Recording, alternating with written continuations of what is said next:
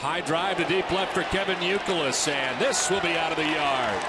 Kevin Youkilis hits his ninth home run of the year, and the Red Sox take a 14 to 1 lead.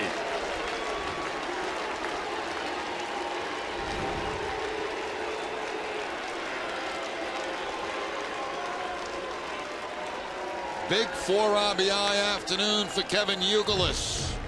Gives him a total of 42 now on the season. He gets a Roush fastball right down the middle and unloads on it. I'll tell you, this has been something to watch for these last few days.